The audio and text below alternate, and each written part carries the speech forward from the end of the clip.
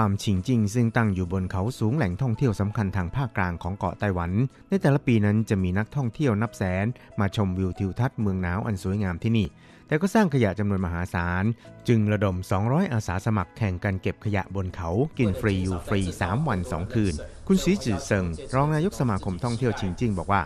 คราวนี้เราขอให้อาสาสมัครต้องเอากระติกน้ำแล้วก็จานชามช้อนกันมาเองด้วย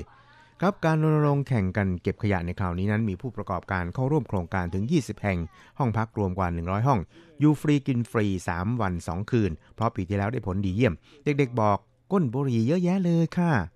เก็บขยะได้กว่า 2,000 ถุง ปีนี้จึงเพิ่มแรงดึงดูดนอกจากอยู่ฟรีกินฟรีแล้ว ใครเก็บขยะได้มากสุดก็ยังมีรางวัลติดมือกลับบ้านอีกด้วยนักท่องเที่ยวบอกว่า ได้มาพักผ่อนด้วยแล้วก็ยังช่วยทำความสะอาดให้โลกใบนี้อีกด้วย ได้เที่ยวฟรีกินฟรีแถมทำความสะอาดและยังมีโอกาสคว้ารางวัลใหญ่คูปองที่พักมูลค่า 10,000 NT พร้อมคูปองอาบน้ำแร่อีกต่างหากกฤษณัยเสรพาดรายงาน